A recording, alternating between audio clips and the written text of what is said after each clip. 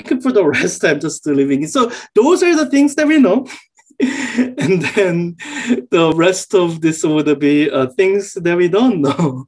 so when you look at section 29.5, um, some of the things that we don't know, we've talked about quite a bit in module five, dark matter.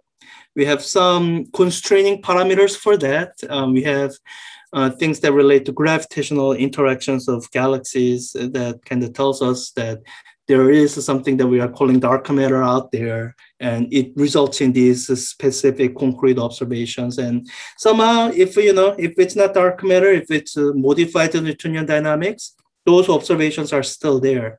So whatever theory is the actual correct one it must uh, explain it um, at some point and the thing that I have not mentioned at all, and I will just leave it to you, is this thing called the dark energy. So, you know, I told you how um, Einstein called the cosmological constant this thing his greatest blunder. Then you might wonder, hey, then why is this still there? Because um, I imagine this is the modern version of Einstein field equations the reason this is here is um, it's connected to what we are calling dark energy. Um, in the 90s, when the scientists, when they were measuring, think the distances to the very distant galaxies using type 1a supernova, uh, they were trying to measure the rate at which the universe's expansion is slowing down because uh, they were trying to determine uh, are, do we live in an open universe, closed universe, or Saddleback universe. I think all of them model, those models are described in section 29.2. Um, and to their surprise, they found that expansion is not slowing down at all. It's actually accelerating. And um, within the kind of the Newtonian uh, universal gravitation, there's no way to make something like that happen. But within the Einstein field equations, there was a way to make that happen and that's this cosmological constant. So we put it back in. Um, and it's called the dark energy. And our current model of uh, cosmology, it's called, uh, do we call it, uh, is that there? Um, let me just search uh, standard model Big Bang cosmology. Uh, if you so it's called the lambda CDM model, and it's named after two things that we don't understand well, but that are important in describing this model. Lambda is that cosmological constant, the thing that's connected to dark energy. And the CDM is the cold dark matter, um, the amount of matter that we need to explain the gravitational pull that we observe, even though there's no way to attribute that to uh, normal matter.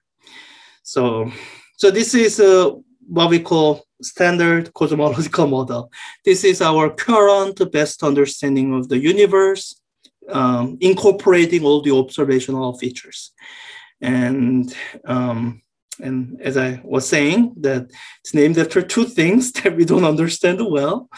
So um, so you know we are in, in a place in a lot of areas of physics where uh, it's very tantalizing. We feel like we understand a lot, a lot more than we could even imagine doing 50 years ago. But at the same time, there are um, missing gaps and pieces. Uh, you see something similar with the standard model of particle physics. It almost uh, uh, for historians of science, it almost uh, reminds you of the last days of the, the Ptolemaic uh, geocentric model, where, where uh, there are lots of parameters to adjust. It's kind of explaining things you observe, but um, but in a very non-natural, non-intuitive way. Um, so so you know who knows there could be a scientific revolution that's gonna be a much better way to unify everything, tie everything together. Um, but my job is just tell you where we are. so our current model of universe has these two things that we can't do without. Uh, without these, the model doesn't hold. But we also don't understand them very well. And um, and there are other pieces here. Uh, inflationary universe referring to how uh, how homogeneous the entire CMB background CMB appears to be, especially the parts that are opposite that couldn't possibly have any causal connection to each other. So, um, so one way to solve that would be to hypothesize that in the very beginning of the universe, all of that were connected together, and then there was a period of inflation, uh, superluminal inflation that kind of expanded out, and um, we don't have a exact thing that we know would have caused this. It's more of a hey, we need this to make our cosmological model work, so we're gonna we'll say that something like this should have happened, and we'll try to figure out later what the causation of that might have been. So, but this is built into our current model. The inflation in this period is what would explain the features of the cosmic microwave background. And the last, this section, by the way, is not covered um, because mainly because I don't believe in anthropic principle. um, but I guess one way to summarize it is um, we have something called, um, you might call it fine tuning problem. Uh, I mentioned adjusting parameters and um, we appear to be living in a, um, in a finely tuned universe. There are, um, yeah, and that's considered problematic.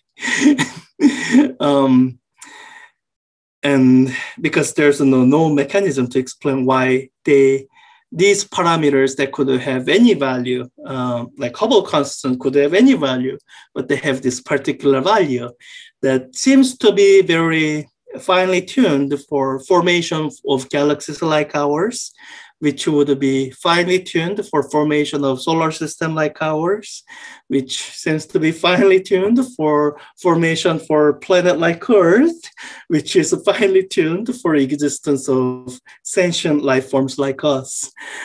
Um, and anthropic principle is one way to explain it, but the way it's explaining is hey, that's the only way you could have human beings who would raise those exact questions. Um, so it's not really an answer. Um, and I mean, you know, you can read about it yourself. I'm not gonna uh, say that I believe in it. I don't. Uh, but at the same time, so this is uh, highlighting something that we don't fully know. And anthropic principle, frankly, is a kind of a surrender. It's a saying these questions cannot be answered. And you know that may be the case. I mean, um, but it's just uh, it's a it's a, a subtle issue with our current model that it's got these gaps and holes here and there that we can quite fully explain.